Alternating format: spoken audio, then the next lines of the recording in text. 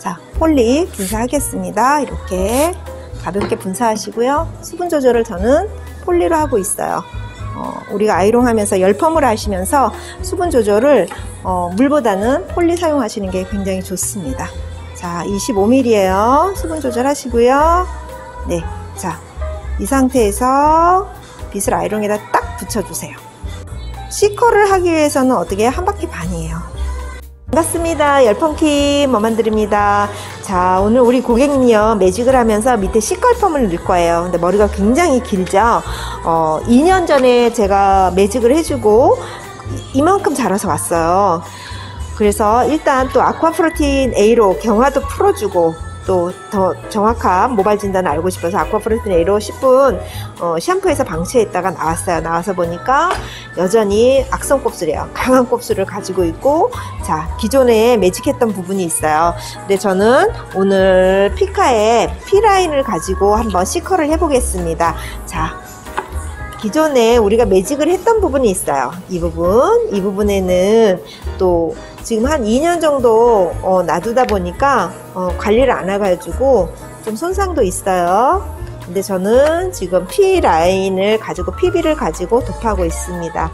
자, 이렇게 도포해 주시고요. 버진인 부분에는 P1, P1이에요. P1을 자 모발이 젖어 있는 상태에서 도포하겠습니다. 네.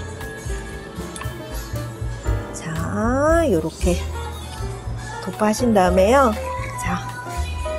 자, 여기서 경계선을 두지 마시고 그냥 이렇게 쭉 빗질하세요. 자, 계속 진행해 나가겠습니다. 네, 열처리 10분 하고 있습니다. 열처리 10분 후에 2차 연화 들어가겠습니다. 네, 열처리 10분 하고 어, 컬 테스트 해보니까 많이 늘어나요. 그죠? 그래서 저는 또 우리 P 라인으로 할 건데 제가 전처리 없이 할 거다 보니까 어, 어떻게 하냐면 이 버진 부분은 제가 P1을 사용할 거예요. 그 다음에 어, 이 2년 전에 저희가 매직했던 부분이 있어요. 손상이 있는 부분 여기에는 P2로 할게요. 그렇게 해서 한번 또 진행해 보겠습니다. 네, 자. 그러니까 P 라인 건 같은 경우에는 원장님들 샵에서 그냥 편안하게 쓰시던 대로 쓰시면 돼요. 굳이 어떻게 써요? 그러는데 그게 아니라 그냥 샵에서 쓰시던 대로 어, 손상이 있는 데는 손상모 그 다음에 건강한 데는 건강모 쓰시면 되겠습니다. 그래서 저 같은 경우에는 이 부분에 손상이 있는 부분에 맨 처음에 P2로 했다가 지금은 어, P2 건강모를 제가 이렇게 도파하는 거예요. 그 다음에 이 곱슬이 강해요. 그게 버진이고 그래서 이 부분은 다시 한번 제가 P1으로 도포하겠습니다.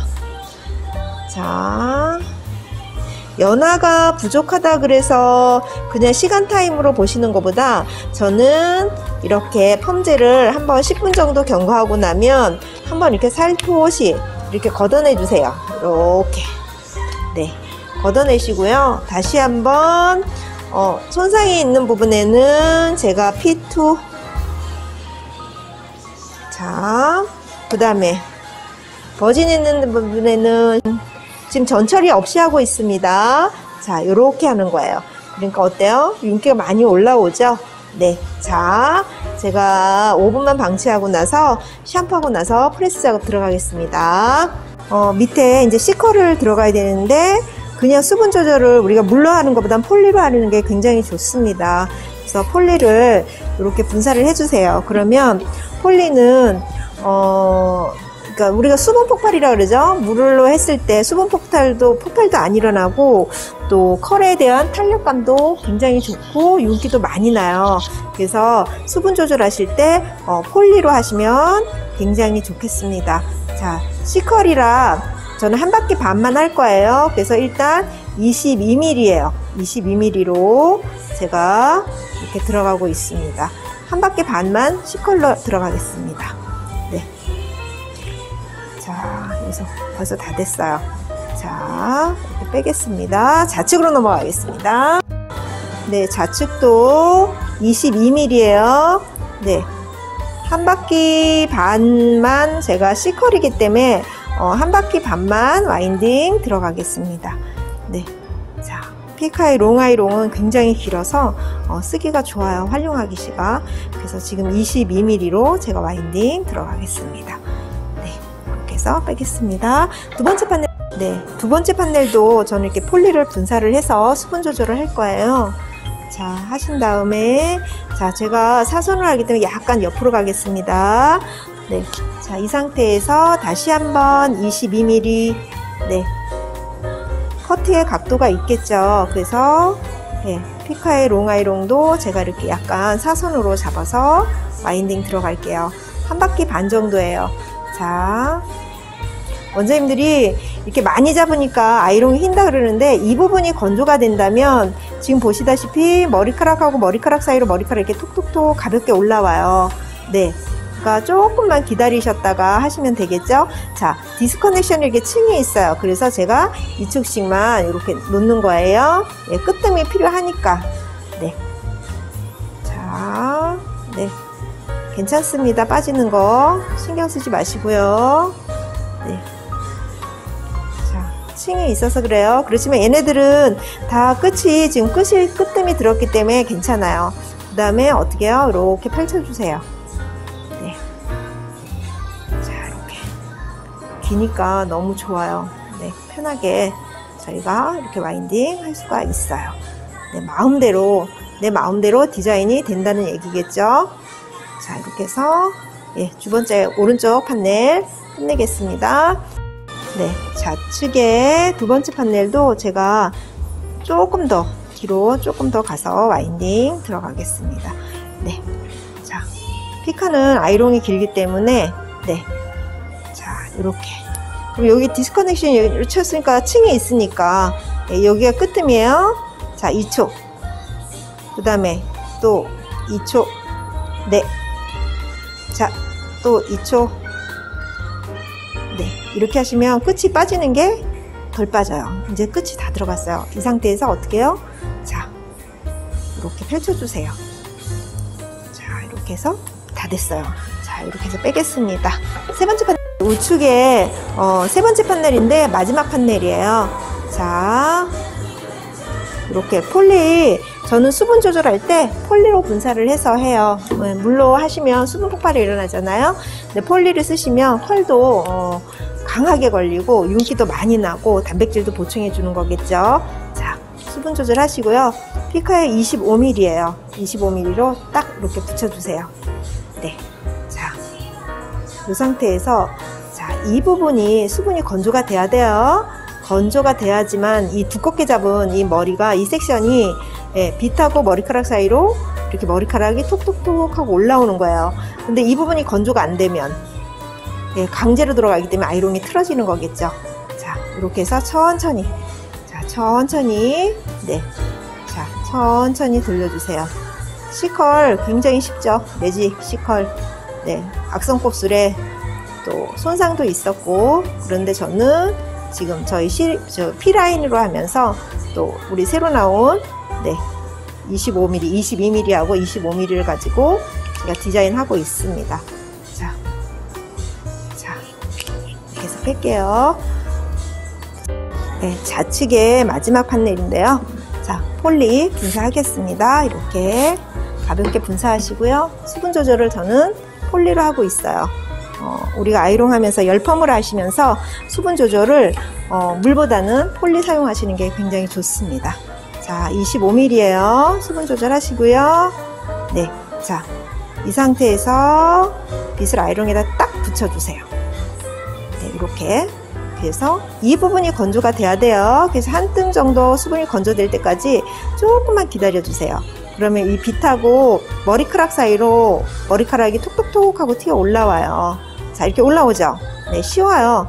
그리고, 자, C컬을 하기 위해서는 어떻게 한 바퀴 반이에요. 네, 자, 이렇게. 끝이 다 들어가면 끝뜸 드리겠습니다. 하나, 둘, 셋, 넷, 다섯. 됐죠? 그 다음에 어떻게 해요? 빨리 건조가 되라고 이렇게 펼쳐주시면서 이렇게 펼치시면 돼요. 저 이제 C컬 다 했어요. 그러면, 자, 우측에 하나, 둘, 셋. 좌측에 하나, 둘, 셋. 여섯 개. 앞에 하나, 둘, 여덟 개를 해서 winding 끝났습니다. 자, 중화 후에 어, 저희 단백질 샴푸 있어요. high protein 단백질 샴푸로 어, 깨끗이 헹구고 나오고 또 트리트먼트로 해서 저희 이렇게 마무리 했습니다. 잘 나왔죠? 또 예쁘게 건조해서 또 다시 한번 보여드리겠습니다.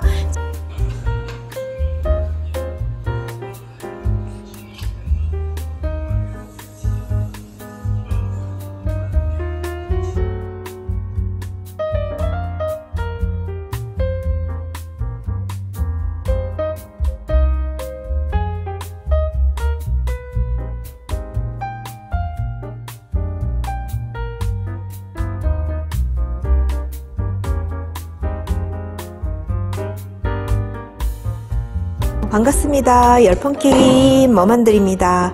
자, 오늘 어, 우리 어, 피카의 어, 새로운 펌제가 나왔어요. P라인이에요. P1, P2, PB. 자, 우리 P1은 각광술 펌제예요. 그 다음에 P2는 어, 건강모예요. 자, PB는 어떤 역할을 하냐면 손상모예요. 극손상모. 그러니까 또 특히 또 우리 PB는 굉장히 효자가 뭐냐면 탈색 모발에 저희가 열펌으로 할 수가 있습니다. 자, 저는 어떻게 지금 활용, 음, 활용을 할 거냐면 1차적으로 모발 진단을 해서 저는 아쿠아프로틴 A로 샴푸를 하고 나올 거예요. 그래서 저는 1차적으로 아쿠아프로틴 A로 어, 샴푸를 하고 나와서 음, 모발 진단을 해요. 그래서 어, 자, 우리가 만약에 손상 모, 어, 탈색 모발이다. 그랬을 때는 PB. 그 다음에 건강 모발이다 할 때는 손상이 있는데 그냥 건강 쪽이다 하시면 P2. 그 다음에 강곱슬 펌제예요. 여기에는 어, 곱슬머리, 또 건강모, 또 원장님들이 음, 발수성 모발 뭐 이런 연모들 이럴 때는 강곱슬 펌제를 하, 어, 이용하시면 되겠죠. 그래서 어, 그대로 그냥 모발 진단하셔서 거기에 맞춰서 그냥 그대로 쓰시면 돼요. 그래서 매직이 됐던 세팅 매직이 됐던 디지털이 됐던 디지털 세팅, 또 세팅 펌, 볼륨 매직, 어, 열펌에 관해서는 전부 다 어, 쉽게 활용하시면 되겠습니다. 자, 저는 이렇게 한 다음에 롱아이론까지 전부 다 한 다음에 어, 저희가 중화하고 나고 나면 저는 단백질 샴푸로 피카의 단백질 샴푸를 쓰고 있거든요. 그 다음에 저는 마스크 예, 저희 피카의 마스크죠. 어, 얘는 윤기를 많이 줘요. 그래서 아니면 원장님 샵에 어, 좋은 트리트먼트가 있다면 그걸 활용해서 쓰시면 되겠습니다. 요즘 뭐 음, 많이 어렵잖아요. 그래서 이번에 저희 피카에서 부담 없이 어, 사용하시라고 어, 이번에 새로운 예쁜 아이들이 나왔어요. P1, P2, PB 많이 많이 많이 어, 활용해 보시고요. 또 제가 또 그 이 펌제를 가지고 또 여러 작품 또 올려 보겠습니다. 자,